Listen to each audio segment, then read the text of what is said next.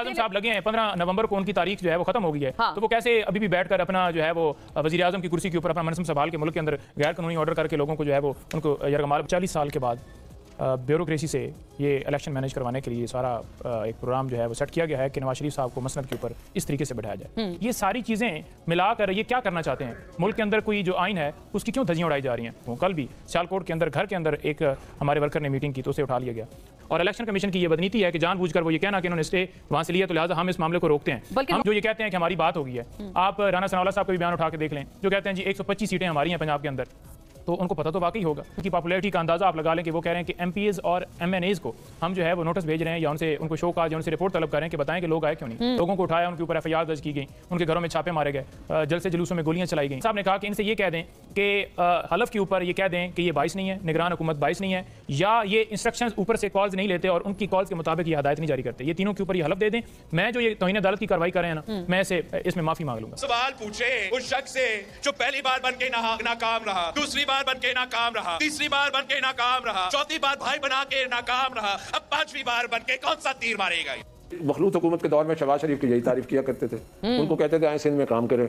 ठीक है जी अब आज आज ये कहते हैं नाकाम रहे। कौन कहता है नाकाम है? सर्वे करवाए गए हैं इंडिपेंडेंट सर्वे करवाए गए हैं। तो नवाज़ शरीफ साहब अपने हल्के से भी दस में से दो वोट ले सके हैं। आके उस वक्त जब आप हुकूमत में थे तो बिलावल साहब तो तारीफें करते नहीं थकते थे और शहबाज साहब को कहते थे कि आप आए सिंध में भी काम करें कोई। क्योंकि बिस्मिल्लाहिर्रहमानिर्रहीम अस्सलाम वालेकुम नाजरीन, आज लाइव शो में नईम हैदर पंचोता ने कहा कि 40 साल के बाद आज फिर ब्यूरोक्रेसी से आर रोज तैनात करवा कर नवाज़ शरीफ को इकतदार की कुर्सी पर बैठाने की कोशिशें की जा रही हैं, जो कि पीटीआई किसी सूरत भी नहीं होने देगी। नईम हैदर पंचोता ने आज नून लीग और इलेक्शन कमीशन को पूरे कौम के सामने ऐसा बेनकाब किया कि मज़ा आ गया। आए पहले इनकी गुफ्तु सुनते हैं, फिर इस पर बात करते हैं। पंजोता साहब पता था उनको जरदारी साहब को पता था क्या होने वाला है। आप भी कोई मतलब किसी का कोई आप, वो तो नहीं बन रहे, आप किसी के आलाकार तो नहीं बन रहे, आपने ये पिटिशन डाली है? कि आपको पाकिस्तान के किसी इदारे पे, किसी अदालत पे एतबार नहीं है तो आपको एतबार किस पे है? कोई अमेरिका की अदालतें और सिस्टम के तहत यहाँ के इंतबात तो नहीं होंगे ना? बहुत शुक्रिया जी। बिल्कुल जी, उनको पता होगा, क्योंकि जिस तरह से उन्होंने बात की है कि आठ दस दिन जो है ऊपर चले जाएँ तो फ़र्क नहीं पड़ता। फ़र्क मेरा ख्याल में उनकी ज़ात की हद तक तो नहीं पड़ता होगा लेकिन अगर वाजिया बात की जाए तो ये आइन के ऊपर हमला है। पहले आपने 90 डेज़ के अंदर इलेक्शन नहीं करवाए फिर जब सुप्रीम कोर्ट ने दरमियान में इंटरवेंशन की और उसके बाद एक डेट मुख्तस हो गई और उसके बाद ये कह देना कि जनाब अब जो है बर्फबारी हो रही है। ये कह देना जी कि दहशतगर्दी का मसला है ये कह देना जी कि फंड्स नहीं है ये कह देना जी कि आठ दस दिन ऊपर नीचे हो जाए फ़र्क नहीं है। ये सारी चीज़ें मिलाकर ये क्या करना चाहते हैं? मुल्क के अंदर कोई जो आइन है उसकी क्यों धजियाँ उड़ाई जा रही हैं? और अगर बात की जाए पता होने की तो इसी तरह से अगर तारड़ साहब का बयान भी आप उठा कर देख लें जो ये कहते हैं कि हमारी बात हो गई है आप राना सनावला साहब का भी बयान उठा के देख लें जो कहते हैं जी 125 सीटें हमारी हैं पंजाब के अंदर तो उनको पता तो वाकई होगा। जैसे नवाज़ शरीफ साहब को पता हो है कि सकता है वो पॉपुलैरिटी की बुनियाद पे कह रहे हो कि इतने पॉपुलर है हमारी 125 जी पॉपुलैरिटी की बुनियाद के ऊपर अगर कहें तो फिर दिखाएँ ना कोई एक जलसा भी उन्होंने किया हो। अच्छा। मरियम नवाज़ साहबा वहाँ पर गुजरात में गई हैं। सेवेंटी फाइव परसेंट जो हॉल है वो खाली था। और उनकी पॉपुलैरिटी का अंदाज़ा आप लगा लें कि वो कह रहे हैं कि एम और एम को हम जो है वो नोटिस भेज रहे हैं या उनसे उनको शो का या उनसे रिपोर्ट तलब कर रहे हैं कि बताएँ कि लोग आए क्यों नहीं। भाई लोग क्यों नहीं आने? लोग इसलिए नहीं आने क्योंकि जो आपने मुल्क के साथ किया है जो 16 महीनों में जो जुल्म किया गया है जो फंडामेंटल राइट्स की वॉलेशन आपने की है लोगों को उठाया उनके ऊपर एफआईआर दर्ज की गई उनके घरों में छापे मारे गए जल से जुलूसों में गोलियाँ चलाई गई बेगुनाह लोगों को अंदर डाला गया। यही D C D P O सारे इन्होंने इस्तेमाल किए और इन्हीं के ज़रिए इन्होंने पाकिस्तान की आवाम के ऊपर जुलम ढाया है। तो वो फिर कैसे इनको लाइक लेकिन वो उनका सवाल भी तो बड़ा है। कहाँ चली गई है? ठीक है ये दोनों चीज़ें बड़ी अभी बलोच साहब ने बोला ना भाई आपको एतबार किस पे है? हुम पे आपको नहीं अदालतों पे आपको नहीं ईसीपी पे आपको नहीं. देखिए अगर एतबार की बात की जाए ना हम ये कहते हैं कि फ्री एंड फेयर इलेक्शंस के लिए जो प्रोसेस है ना वो अडॉप्ट होना चाहिए और वो इलेक्शन कमीशन का काम है। अगर इलेक्शन कमीशन वहाँ पर बैठी हुई है कि इंटर पार्टी इलेक्शन इनके ठीक नहीं हुए पाकिस्तान की हिस्ट्री में अगर पहले ऐसी कोई मिसाल नहीं हो तो सिर्फ़ पीटीआई के लिए कैंप की जा रही है और दोबारा हम करवाते हैं और फिर कहते हैं कि आप इसके ऊपर हमें तसली बख्श जवाब दें। मसला क्या है? पेपर के ऊपर मैं मैं बैठा हुआ था गौर साहब के साथ मैंने कहा जी इशू क्या है? उन्होंने कहा जी कि साइन यहाँ पर हैं दर्ज और वो कहते हैं कि थोड़े से साइड पे होने चाहिए। इस तरह के इतराज हैं। अच्छा, इस तरह एक नोटिफिकेशन निकाला है इन्होंने हाँ। और वो भी मरूसी सियासत का जिसमें जनाब बादशाह सलामत खुद ही उसके चेयरमैन है और जनरल सेक्रेटरी और सारे अपनी ही। आप नून लीग के नोटिफिकेशन की बात कर रहे मैं नून लीग की भी बात करूँ अगर पीपल्स पार्टी की भी बात की जाए तो वहाँ पर भी आप न, आपको नज़र आएगा बिलावल और वो सारे हैं और यहाँ पर भी अगर बात की जाए तो को शहबाज जी शबाज शरीफ साहब और वही मरियम और वही सारे नज़र आएँगे तो इमरान खान साहब ने उस चीज़ को जो है वो चेंज किया है मरूसी सियासत को खत्म किया है। और अगर बात की जाए जो लेवल प्लेइंग फ़ील्ड की या आप ट्रस्ट की बात करें तो हमें ट्रस्ट है इदारों के ऊपर। है आपको? बिल्कुल अच्छा। है। इदारों पे ट्रस्ट है और हम इदारों पे ट्रस्ट है तो हम इदारों में अदालतों में जाते हैं। लेकिन अगर एक अदालत जो है वो नाइंसाफ़ी करे तो हमारा हक बनता है हमारा राइट है। और इलेक्शन कमीशन की बात कीजिए तो इलेक्शन कमीशन बाईस है। वो कैसे बाईस है? अदालत के अंदर हम मौजूद थे। अदालत वो क्या कहेंगे? वहाँ पर जो एक बंद कमरा बनाया गया जेल के अंदर। तो वहाँ पर इलेक्शन कमीशन आया। खान साहब ने कहा कि इनसे ये कह दें कि हलफ के ऊपर ये कह दें कि ये बाईस नहीं है निगरान हुकूमत बाईस नहीं है। या ये इंस्ट्रक्शंस ऊपर से कॉल्स नहीं लेते और उनकी कॉल्स के मुताबिक ये हदायत नहीं जारी करते। ये तीनों के ऊपर ये हलफ दे दें।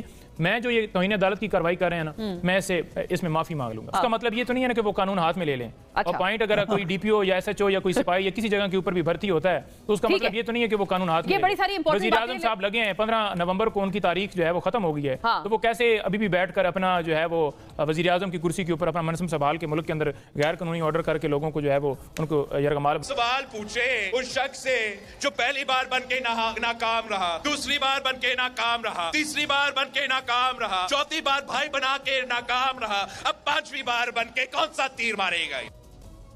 जी पांचवी दफ़ा कौन सा तीर मार लेंगे सर? ये सर रजवाना साहब इसका जरा मुख्तसर जवाब हमारे? मैं बलोच साहब की तरफ़ ले जाऊँगी मामला। मैं मैं तीर की बात नहीं है। देखें अब वो कहें कि कामयाब रहे। इन्हीं के इन्हीं के मखलूत हुकूमत के दौर में शहबाज शरीफ की यही तारीफ़ किया करते थे। उनको कहते थे आए सिंध में काम करें। ठीक है जी। अब आज आज ये कहते हैं नाकाम रहे कौन कहता है नाकाम है? आप कंपेरेटिव स्टडी कर लें कंपैरिजन कर लें। मिस्र पी एम एल एन की जितनी हुकूमतें आई हैं as compare to people's party as compare to any other party that was better मैं नहीं कहता बेस्ट थी दैट वाज बेटर। अब इतराज इतराज करना है खुदा के लिए अपना प्रोग्राम दो। हम नाकाम हो गए जी। आप पाकिस्तान की बात करो अपने प्रोग्राम की बात करो मैं कहता हूँ जिसका दौर था नाकाम था चलो आए पाकिस्तान को कामयाब करें कम ऑन साबिर बलोच साहब बड़ी अहम बात उन्होंने की है। रजवाना साहब ने पंजोता साहब if you have to add to this तो आप प्लीज़ अपनी बात इसमें शामिल ज़रूर कर सकते हैं। जी। आप लोग भी तो एक मनफी प्रोपेगेंडा कर रहे हैं ना आपको पता है कि पंजाब में कुछ है नहीं तो इसलिए आप लोग आ, अपना प्रोग्राम ना आपके पास है और वो बिलावल साहब पे भी उन्होंने यही बात की है। देखें प्रापोगंडा हमने क्यों करना है? अवाम पाकिस्तान पाकिस्तान तरीके इंसाफ के साथ खड़ी है इमरान खान के साथ खड़ी है उनके विजन के साथ खड़ी है। और दूसरी अगर बात की जाए तो नून लीग जो कह रही है होल्ड है मेरा ख्याल में जो सर्वे करवाए गए हैं इंडिपेंडेंट सर्वे करवाए गए हैं तो नवाज़ शरीफ साहब अपने हल्के से भी दस में से दो वोट ले सके हैं।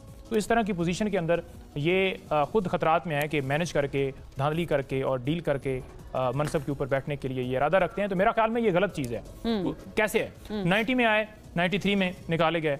अब नवाज़ शरीफ साहब कहते हैं जी मैं उसके बाद आया फिर मुझे निकाला गया मैं तेरह में आया मैं सत्रह में निकाला गया।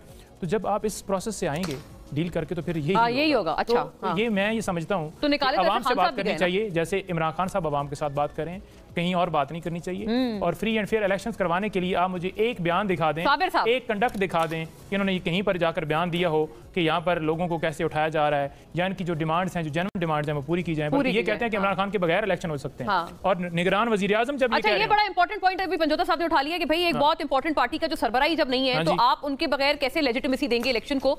तो क्योंकि यही गिला दो हज़ार 2018 में पीएमएलएन का था कि भाई हमारे जो लीडर हैं वो पाबंद सलासल हैं। तो अगर आप उस वक्त लेजिटिमेट नहीं मानते थे तो आप कैसे मान रहे सर सर इसका बड़ा ज़रूरी जवाब रजवाना साहब ने कई सारी बातें की थी। आप कॉन्स्टेंटली मुस्कुरा भी रहे थे जब रजवाना साहब गुफ्तगू कर रहे थे। कोई प्लान नहीं है बिलावल साहब के पास वो अपना प्लान देते नहीं है। और अपना पहले हाउस। वालिद साहब और साहबजादे जो हैं मुस्कुराहटे बांटनी चाहिए मुस्कुराहटे बांटनी चाहिए। जी साबिर साहब। अपने दोनों में फ्रीक्वेंसी तो नहीं मिलती बिलावल साहब और जरदारी साहब। मैं आपसे अर्ज़ करूँ?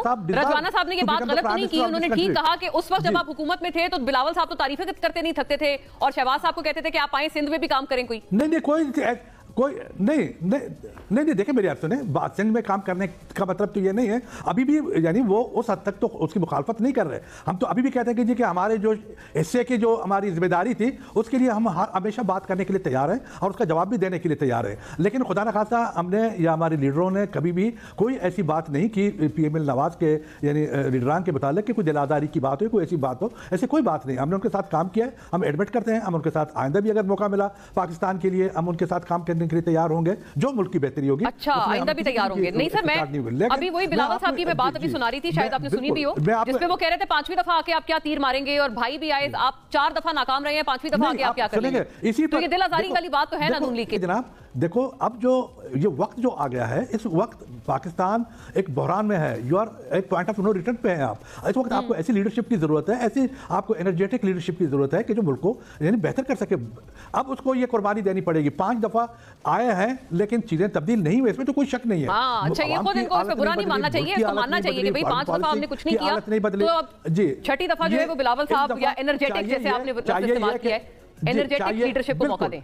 चाहिए यह कि चाहिए नॉट ओनली नॉट ओनली जी नवाज़ शरीफ साहब ये काम जो है ना इसको अपना तहरीक इंसाफ के जो लोग हैं उनको उनको भी सोचना चाहिए। ये बात स्टैब्लिशमेंट को भी सोचना चाहिए कि भाई give a chance to a person who deserves अच्छा आप सारी जमातें कह रही हैं भाई आप ही को इलेक्शंस मुलतवी करवाने हैं। एक तरफ़ आप कहते हैं आपकी वेव चली हुई है किसी चीज़ से आपको फ़र्क नहीं पड़ता। तो फिर आपके ऊपर ये इल्ज़ाम क्यों आयद किया जा रहा है कि इलेक्शंस मुलतवी करवाना सिर्फ़ आपके हक में है ताकि आपके लिए शायद थोड़े मामला तब तक आसान हो जाए? बहुत शुक्रिया जी बड़ी नवाजिश। बात यह है कि ये चालीस साल के बाद ब्यूरोक्रेसी से ये इलेक्शन मैनेज करवाने के लिए ये सारा एक प्रोग्राम जो है वो सेट किया गया है कि नवाज़ शरीफ साहब को मसनद के ऊपर इस तरीके से बढ़ाया जाए। किसी सूरत भी फ्री एंड फेयर इलेक्शन जो हैं वो होते हुए नज़र इस तरह से नहीं आ रहा है कि जिस तरह ये इंतज़ामिया से ये डी आर ओज़ और आर ओज़ इन्होंने लगाने हैं। और उसके बाद जो लेवल प्लेइंग फ़ील्ड की बात है तो वो अभी भी हमारे लोग इसी तरह से उठाए जा रहे हैं। एम पी के तहत गिरफ़्तार किए जा रहे हैं। आपने देखा कि शरद मरवत साहब हों या दीगर हमारे लोग हों कल भी सियालकोट के अंदर घर के अंदर एक हमारे वर्कर ने मीटिंग की तो उसे उठा लिया गया। तो लोगों की लिस्टें बनाकर आज जब वहाँ पर शुएब शहीन साहब गए थे कोयटा में। उनको उतरने नहीं दिया कि आप कन्वेंशन नहीं कर सकते। तो फिर कैसी ये लेवल प्लेइंग फ़ील्ड है? ये हम हैरान है कि आर के हवाले से और डी के हवाले से जो मामला है लाहौर हाई कोर्ट के अंदर पेंडिंग है। तो यहाँ पर आप देखें कि सुप्रीम कोर्ट ने खुद बुलाया है इनको कि जनाब आएँ और हम आप पटिशन लें हम सुनने के लिए तैयार हैं। कभी आपने देखा कि ये खुद किसी किसी टाइम के ऊपर इलेक्शन अच्छा बुलाया अच्छा सुप्रीम कोर्ट के भी आप कह रहे हैं उनके ऊपर भी आपको बहुत एक तशवीश का इजहार बिल्कुल किया है बिल्कुल, बिल्कुल। इन्होंने क्यों खुद बुला लिया मैं वही गुजारिश खुद बुलाया आपको लगता है क्योंकि मीटिंग भी हुई है बिल्कुल मीटिंग हुई और अगर इसकी थोड़ी सी थोड़ा सा बैक पर जाएँ तो आप आप ये देख लें कि अप्रैल ये जो था जब पंजाब और केपी के इलेक्शन के हवाले से बात थी इलेक्शन सुप्रीम कोर्ट में मामला आया था तो उस वक्त जस्टिस मंसूर साहब ने ही कहा था कि क्योंकि मामला जेर अल्तवा है नीचे हाई कोर्ट्स में तो लिहाजा हम जो है इस मामले को टेकअप नहीं कर सकते। आज आप देख लें कि वो मामला टेकअप भी हो गया रात को अदालत रात को है अदालत खुल भी गई रात को अदालत खुल भी गई मामला वहाँ पर ये पेंडिंग है। और अल्तवा की अगर बात की जाए तो पीटीआई नहीं अल्तवा चाहती है पाकिस्तान तरीक इंसाफ नहीं हमेशा ये कहा है कि आठ जो मुकर्रा वक्त है आइन के मुताबिक उसके ऊपर इलेक्शन होने चाहिए। वो है नाइन्टी डेज़ वो आपने क्रॉस कर लिया। निगरान सेटअप चाहे पंजाब और केपी हो या वफाक में हो तो वो किस तरह से हुकूमतें अपनी कंटिन्यू किए हुए हैं? और अगर ये बात की जाए कि इन्होंने दरखास्त इसलिए दी है कि मामला रुक जाए जस्टिस बाकर अली नजवी साहब ने ये जो लाहौर हाई कोर्ट जी, जी, जिनका फैसला है। जिनका फैसला है जो उन्होंने फैसला दिया है जो स्टे दिया है। अगर आप देखें तो जब से इमरान खान साहब की हुकूमत गई है तो मेरा ख्याल में ये एक ऐसा ऑर्डर आया है जो ये समझा गया कि आपको आपके हक में दे हैं। नहीं प्रो पीटीआई नहीं है हाँ। आपके हक में कोई भी एक फैसला उन्होंने हमारे हक में नहीं दिया। अच्छा। और ये फैसला देकर ये समझा जा रहा है कि लगता है कि ये गए हैं। हालाँकि मैं नहीं समझता किस टाइम के ऊपर इस तरह का उन्होंने फैसला जानबूझकर दिया है। और इलेक्शन कमीशन की ये बदनीति है कि जानबूझकर वो ये कहना कि इन्होंने स्टे वहाँ से लिया तो लिहाजा हम इस मामले को रोकते हैं। हम ये कहते हैं कि जैसे अदालत यहाँ पर खुल गई है हाँ। वहाँ पर भी इसी तरह से खोलकर और घंटों में मामला खत्म करके? लाहौर लाहौर में। अच्छा ठीक है। क्योंकि हाँ। 18 असल- तारीख के मामला तो वहाँ शुरू असल मामला तो वहाँ शुरू है। तो है, 18 तारीख के लिए क्यों डेट फिक्स की क्यों लटकाया गया दिलचस्प ठीक है आज ही वो मामला वहाँ पर टेकअप करके खत्म करके और कह दिया जाता कि जी आप जो है क्योंकि किसी तरह से इंडिपेंडेंट इलेक्शन नहीं हो सकते कि आप इंतजामिया से लोग लेंगे, क्योंकि वो डीसी वो हैं जो अभी भी एमपीओ के हमारे ऑर्डर जारी करें हमारे खिलाफ। और नईम हैदर पंचोता ने बिल्कुल ठीक कहा कि वो ब्यूरोक्रेसी जो थ्री एम के तहत आज भी हमारे सीनियर रहनुमाओं को गिरफ़्तार कर रहे हैं, इनसे इलेक्शन करवा कर ये मुल्क में क्या करना चाहते हैं? नईम हैदर पंचोता ने बिल्कुल ठीक कहा कि इलेक्शन करवाने हैं तो साफ़ और शफाफ करवाएँ, वरना काकड़ से एक नोटिफिकेशन जारी करवा के नवाज़ शरीफ को इस कौम पर दोबारा से मुसलत कर दें, जो कि आप करना चाहते हैं। इतना लंबा चौड़ा ड्रामा करने की क्या ज़रूरत है? नाजीन आप इस बारे में क्या कहना चाहेंगे? आप अपनी राय से हमें ज़रूर आगाह करें। नेक्स्ट वीडियो तक मुझे दें इजाज़त। अल्लाह हाफिज़।